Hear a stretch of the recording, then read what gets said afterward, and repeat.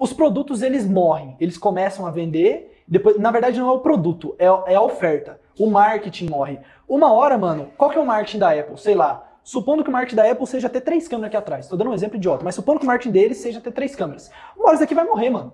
Ou Vai seja, alguém vai deixar de usar o celular? Não. Nunca. Mas o marketing para vender o celular para você vai morrer um dia.